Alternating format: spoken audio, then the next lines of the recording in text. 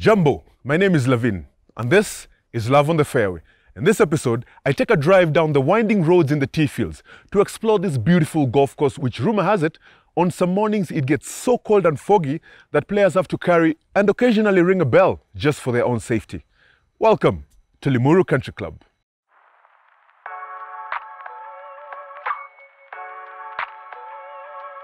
Limuru Golf Club is an 18-hole golf course located in Limuru town, about 25 kilometers from the capital city Nairobi. The first nine holes were completed and opened on 25th June 1949 and it was only three years later that the second nine was commissioned. As fate would have it, British golf professionals Dai Rees and Harry Weetman happened to be visiting the country and were convinced to play the first round of the 18-hole course. I joined Limuru in 1979. Those days, we could not have nice greens. The clubs were all dominated by whites. We were, we were, in fact, we were staying in one side and they were staying on the other side. And in the committees, no, there were no Africans. But uh, as it was going, African joining, we decided now we will go for the for the seats. And then we, in the golf committee, we had like three guys in the golf committee. We had a chairman, African chairman, after a, a lot of fight. Yeah, and things start changing from there. The 18-hole Limuru course started as a racecourse and racing continued there until the 1990s. So I'm going to play a few holes on the course, enjoy this beautiful course, but I'm not going to do it alone. Who better to play with than the man himself, the captain, Mr. Dennis Mara. Dennis, asante sana. Thank you very much. Asante sana. I, Karibu. I, I know you're a king of this course, eh? so I'm in good hands. yes, you are. okay. Yeah. I'll And- show you the, the nicks, the everywhere to go, but as we maintain fairway. Well, I cannot guarantee that. what you need to show me is where not to go, because that's, that's, that's a speciality of mine. All right. Anyway, let's do this. Hole number one, it's 467 yards. Uh, slight dogleg to the right, a few trees on the left. So you want to be on the left if you have a chance to attack it in two. Let's do this.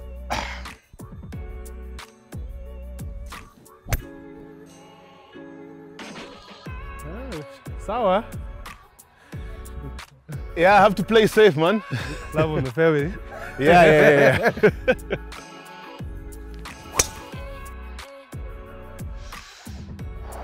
It's a bit in the wrong direction.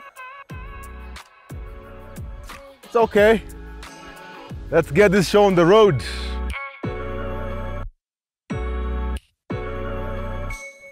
So, Captain, Yes. um, I've heard stories about sometimes it gets foggy in the morning that you can't see past 20 yards and people have to carry bells. Is it true? That is uh, very true, especially uh, during the season of the Limuru Open, Yeah. which is around July, August. So that's that's actually what attracts many players to come play that tournament. So Yeah. we tee off around seven in the morning. It's foggy until around 8:30.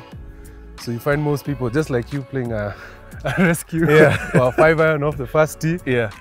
hit. Hopefully your ball is on the fairway, and then someone rings a bell Wow. to say okay. the fairway is clear. Well, at least for the sake of my cameraman, at least today we are lucky. it's a Yeah, bit uh, bright. yes.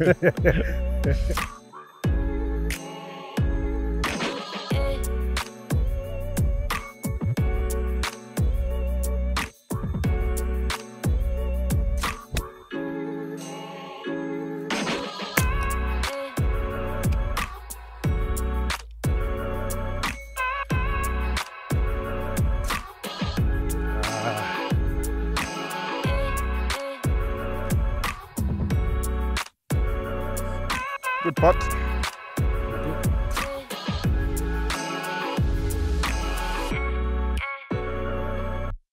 Many people, especially from Nairobi, travel far and wide just to come and play Limuru.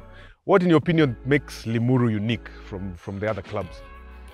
Um, firstly, I think you'll agree that this is one of, if not the most beautiful course in the country. Yeah. Um, and it also being like, what, 25 kilometers from most suburbs in Nairobi. Yeah. Uh, it's not that far of a drive. Maybe what's making it far is the, all the road construction. Yeah. So you get that feeling of you've left town. There's uh, the clean air vibe, the Yeah. beautiful course, and then also the friendliness of just the members in general. Yeah, I, I think I think one of the most scenic drives is when you pass banana. Yes. When you're passing through the, The- tea the tea plantations, plantations. and, and everything. Yeah, and definitely once the roads roads are fixed, it will be a much shorter drive. Yeah, in fact, uh, if you're not a member here, you should because uh, I think once the roads are fixed, Yeah. uh, everything goes up, prices, etc., because we become more accessible. Ah, okay. Yeah, another thing that makes it more attractive is I think we have a lot of such a youthful uh, membership. Yeah. So, like our demographics are really young, and also the guys who just come a lot of the time and patronize the club, they're here for a fun time, Yeah. not more or less strictly just play golf and be serious all the time. I can confess I've been here for a fun time. Yes. Many, on many occasions. yeah, that is Limuru for you. Cheers, man. Yeah. I'm standing on the tee box of hole number three, 558 yards. It's a par five, one of the most beautiful holes I've ever seen. Actually, it was voted as one of the scenic holes in the country. It's a par five, lovely drop, opening up. See for yourself. Let me not talk too much.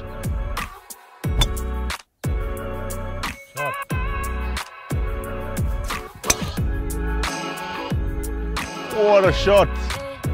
Limuru Country Club completed an irrigation project that was commissioned in 2020, and thanks to this project, the course remains in good condition throughout the year despite unpredictable weather patterns. So, Captain, I have a question. Uh, why would anyone, after such a beautiful hole, a par five, very scenic, design this monstrosity of a hole? It's a zigzag par five. How do you even play this hole? So, firstly, we have to equalize somehow. Yeah. Beautiful, then ugly. you find the middle ground. but it's actually not such an ugly hole. I think people come to this hole and uh, they just struggle. Uh, so basically, it's a par five. It's our stroke index one. Yep. Uh, and it's a hole that you bring in precision to the game. You know, when you talk about precision, that's not a topic you should be discussing with me.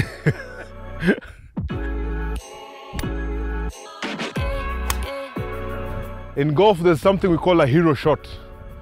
90% of the time, don't try the hero shot. But today, it's that 10%. I'm going to try a hero shot. Shot. I can be your hero, baby. Super, super. Thank you.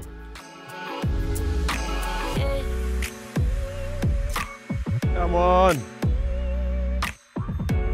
Good save. Well done.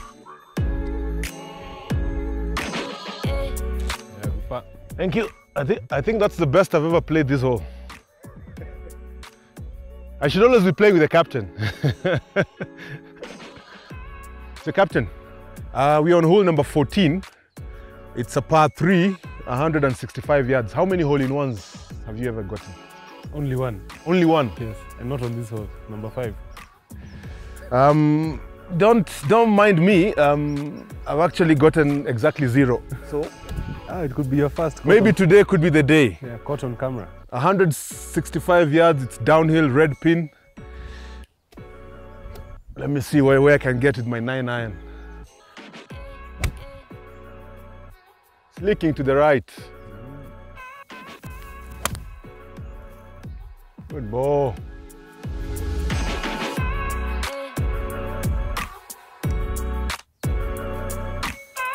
Good birdie, well done.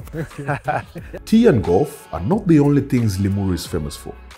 There are also some hidden gems which make Limuru a worthwhile attraction. On this day, I drove to Zereniti Gardens, which is about 10 minutes away from the golf club. This boutique guest house combines colonial architecture with modern amenities to provide an ambience that is zen and serene. Just as the name suggests, I met up with an old friend of mine, Jazz, who happens to be the owner, and uh, some say a part-time golfer. Hey, Jazz. Yo, Thanks for the food, man. It's amazing. yo, most welcome, bro. It's been a minute. Happy 2021. So you've, it's been a while, I know it since you played Limuru, but in your opinion, Yeah. what's the challenge when you play Limuru Golf Club? Okay, there are two holes in particular that always challenge me. Yeah. I think it's the fifth hole when you go down towards the dam. That's uh, number three. Number three. Yeah, number three. Yeah, Yeah. their signature hole. Yeah. and then when you're coming back up, there's the one before you get to I think it's 15, the one that like swerves this way Yeah. and it droops like this. So you, I always aim up because I know my ball's gonna roll down the gutters. so Yeah. those are the ones that really challenge me. And then personally, as a golfer coming home, Yeah. 16, 17 are the hardest ones. 18 is just for show, you know. That's for sure. Yeah, that one is Headed to the you know, you know, the whole clubhouse is there. They're just looking at you. They're like- looking at you. Yeah, but those two in particular, Yeah. party done. Okay. Yeah. I mean, Limuru is, is such a beautiful course. Yeah. And and having the dam there, that the sea, the scenery, it's it's it's amazing. And uh, just in case people play too late at Limuru, there's accommodation as well. Hey, You can come swatch, sleep. Who wants to drive late at night, especially with hey, curfew? country will curfew.